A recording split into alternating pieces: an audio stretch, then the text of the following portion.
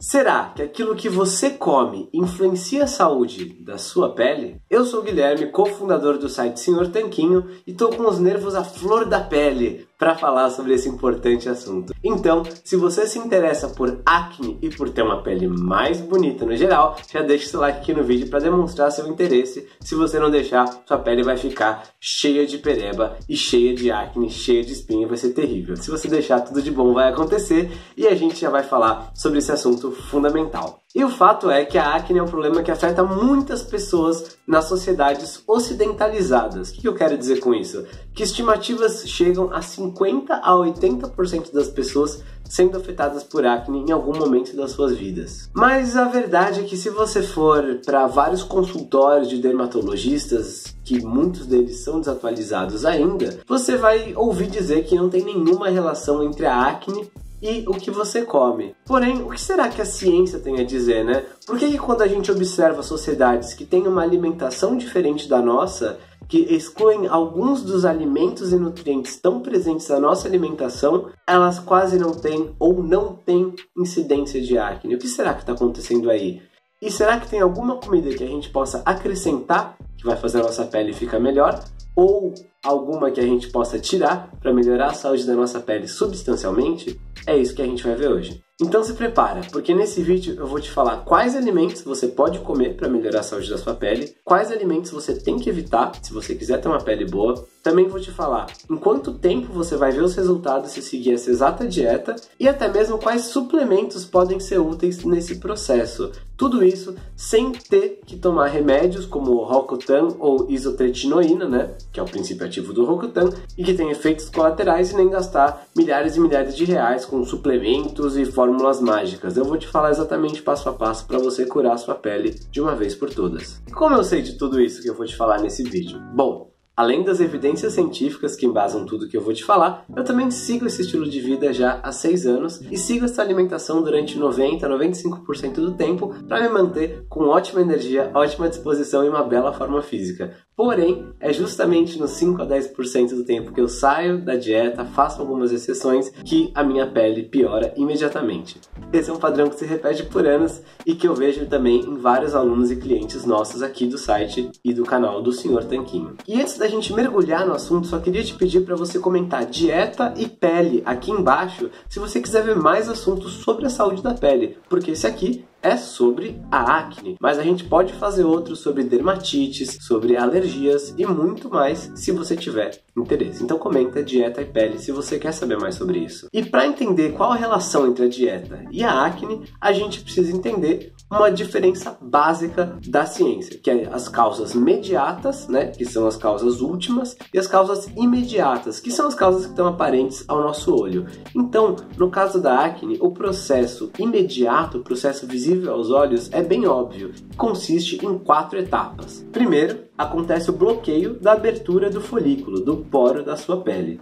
Aí, etapa 2, acontece uma produção excessiva de sebo, que é o óleo que tem na sua pele, depois uma colonização bacteriana, que se alimenta desse óleo, né, que são os cravinhos e tal, e a quarta etapa é a inflamação do cravo e da pele ao redor, que são as espinhas e as aparições, enfim, os comedos, como a gente fala. Essa é a causa imediata, a causa óbvia que a gente vê acontecendo o processo em quatro etapas. Porém, quais são as causas básicas, as causas mediatas por trás dessas? Bom, esse assunto daria um livro, e na verdade deu, chama The Dietary Cure for Acne, do autor americano Lauren Corden, e seria uma coisa como A Cura Alimentar da Acne, em tradução livre. Eu li esse livro, e o Lauren Corden, no caso, é também o autor deste estudo científico que está aparecendo na tela, então, grande parte do que eu vou te falar hoje foi baseado na leitura desse livro, desse exato livro, que ele explica aí os mecanismos mediatos por trás. E no livro ele entra em detalhes sobre coisas como insulina, transglutaminase, fator de crescimento semelhante à insulina tipo 1, interleucinas e muito mais. Para preparar o roteiro desse vídeo, eu estava me perguntando como é que eu ia fazer para explicar isso para você, mas eu percebi uma coisa, que explicar esses mecanismos não ia me ajudar a cumprir meu objetivo principal, que é ajudar você a se livrar da acne. Então a gente vai pular toda essa parte de por que, que tal coisa influencia em cada uma das causas e vamos direto falar do que, que você pode comer e do que, que você deve evitar comer para se livrar da acne de uma vez por todas. Então, alguns dos nutrientes a evitar, no caso, são antinutrientes. Antinutrientes porque eles impedem a absorção correta de outros nutrientes que a gente ingere na nossa alimentação. E os principais antinutrientes que o Dr. Corden cita são as lectinas, que estão presentes em alimentos como grãos e cereais, como o trigo, e em leguminosas, como a soja e o amendoim. Se você quiser saber mais sobre o assunto de antinutrientes, comenta aqui embaixo antinutrientes, que eu vou te mandar uma entrevista que a gente gravou com o médico Dr. Cláudio Brasil, na qual ele fala tudo sobre antinutrientes, o que são e como desativar alguns deles na nossa alimentação. Outro fator que o Dr. Cordan identificou também está ligado à acne é a inflamação. Então a gente vai querer evitar alimentos excessivamente inflamatórios. Nesse caso, a gente vai evitar principalmente óleos vegetais refinados e um excesso de açúcar também. Também é interessante evitar, obviamente, trigos, grãos e essas coisas com antinutrientes. Então é só somando a listinha do que não pode, digamos assim, se você quiser ter a pele dos seus sonhos. A gente também vai querer evitar picos excessivos de insulina. A insulina é um hormônio que afeta basicamente todos os tecidos do nosso corpo.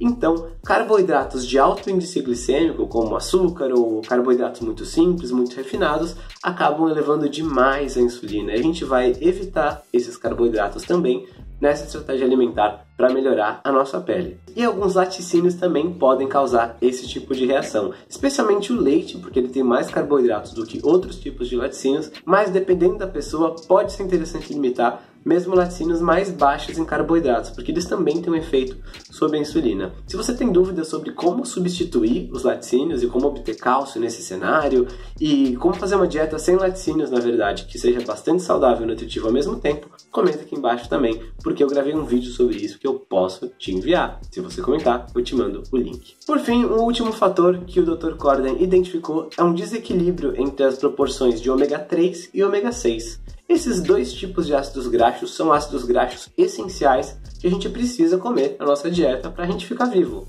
Porém, hoje em dia a gente come muito mais ômega 6 do que ômega 3 e esse desequilíbrio acabou criando alguns problemas na nossa saúde, dentre eles o aparecimento de acne. Então, é interessante evitar justamente os óleos vegetais refinados, mais um motivo para evitar eles, e também um excesso de castanhas oleaginosas, essas coisas, é, amendoim, amêndoas e castanhas, enfim, especialmente se você come muito pouco ômega 3, você come poucas carnes e peixes. Então tá, com tudo isso você viu que tem uma lista enorme de coisas que você não pode comer e deve estar se perguntando: nossa, mas o que, que sobrou então? Bom, sobrou bastante coisa. E dentre os alimentos que sobram, a gente vai fazer algumas escolhas estratégicas. Isso é, a gente sabe que alguns nutrientes, como o zinco, o ômega 3 e a vitamina D são importantes para a boa saúde da pele. Então a gente vai priorizar alimentos que contenham esses nutrientes. O que, que isso significa em termos de comidas que você compra no mercado? Significa alguns peixes, como sardinha,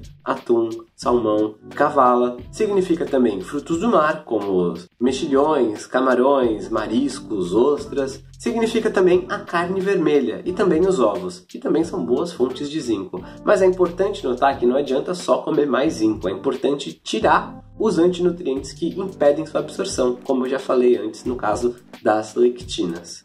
Ah, e o zinco também tem um ótimo benefício de ajudar a otimizar os níveis de testosterona. Eu falei disso no outro vídeo. Se você quiser saber sobre isso, comenta aqui embaixo. Também tem link para ele no cartão no canto da tela. E para acompanhar esse monte de carnes, peixes e ovos, você pode usar vegetais, folhas, legumes e frutas frescas. Essas vão ser as fontes melhores de carboidrato na sua dieta, especialmente se forem frutas um pouco mais baixas em açúcares. As frutas permitidas na dieta cetogênica é um ótimo ponto de partida. Eu falei sobre isso em outro vídeo também. Comenta aqui, frutas na cetogênica, para você saber quais frutas você pode comer. E quanto tempo leva para você sentir na pele os resultados dessa mudança alimentar?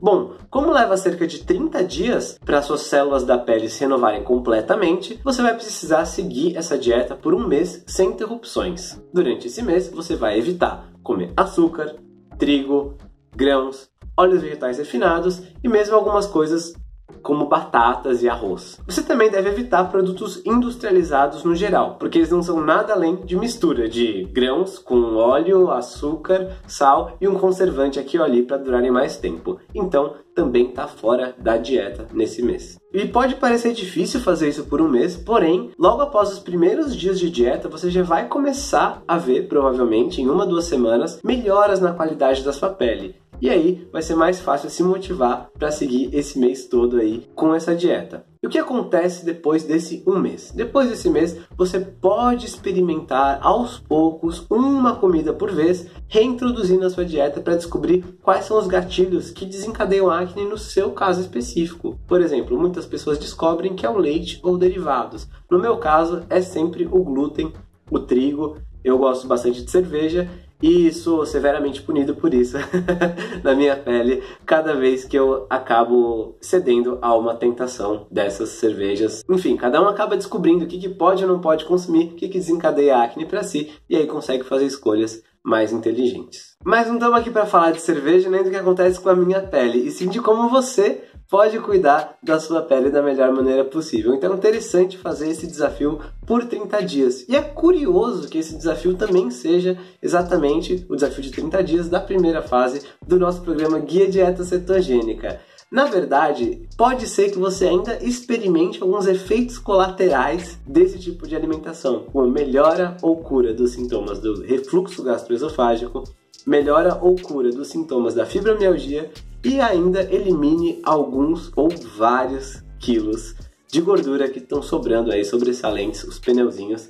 Tudo isso na tentativa de melhorar sua pele. Esses são alguns dos efeitos colaterais possíveis desse tipo de intervenção. Para você entender o programa passo a passo, onde eu te ensino como montar a sua dieta que vai permitir resolver tudo isso ao mesmo tempo e também que vai te dar níveis de disposição e energia e um estilo de vida que você não vai mais querer largar, clica no link aqui da descrição, chama Guia Dieta Cetogênica, o programa, e ele tem uma garantia de 30 dias. Então eu sugiro para você que experimente e se você não conseguir ter os resultados que você quer, se sua pele não melhorar, se você não emagrecer, você manda um e-mail e a gente devolve seu dinheiro, porque é nosso compromisso é com a verdade e com a sua satisfação. Então, vale a pena, se inscreve no programa, dá para parcelar no cartão e você tem a chance da sua vida agora de fazer essa dieta e começar os resultados de pele e de corpo e de saúde que você sempre quis. E falando em compromisso com a verdade, vamos falar de uma indústria que não tem sempre esse compromisso, que é a indústria de suplementos. Você vai ver todo tipo de coisa sendo anunciada por aí como cura da acne na forma de suplemento. Mas a verdade é que a maioria deles não vai fazer nada de bom para você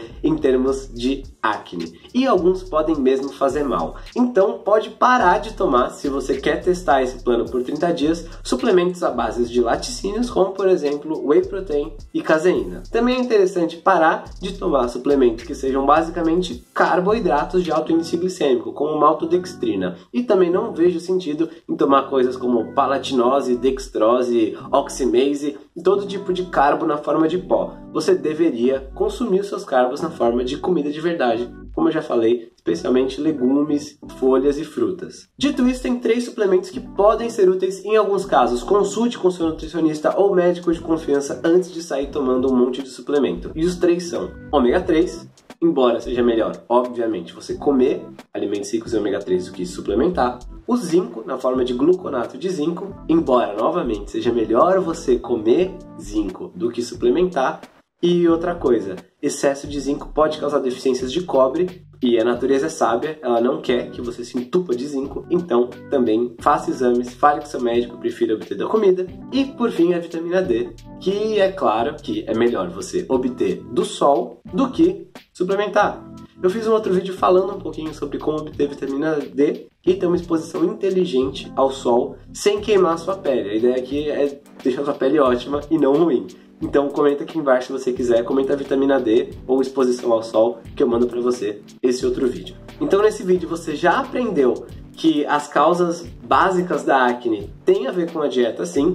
Você também aprendeu quais alimentos consumir e quais alimentos evitar. Até te falei sobre os suplementos que podem ser úteis consumir com o conselho do seu médico e quais que é melhor evitar também. Com tudo isso, você já consegue começar a montar sua dieta e começar a ver resultados na sua pele. E se você quiser um nível a mais de cuidado, de atenção, de carinho, um programa passo a passo onde a gente te ensina como montar as refeições, o que comprar no mercado, tem a lista de alimentos permitidos, lista de alimentos proibidos, você tem acesso ao nosso suporte diretamente, tem um grupo secreto de pessoas que seguem esse tipo de alimentação, aí recomendo que você conheça o Guia Dieta Cetogênica. Como eu já falei, o link está na descrição, também tem garantia, então você não tem nada a perder, tem risco zero e pode ser que a sua pele e a sua vida e a sua saúde deem um rumo de 180 graus, uma virada completa com esse tipo de alimentação. E mantendo aqui a nossa política de 100% honestidade, eu não tô te falando que dieta é a única coisa que importa. Tem outros fatores que não são o que você come que também influenciam a saúde da sua pele, tá? Se você beber muito álcool,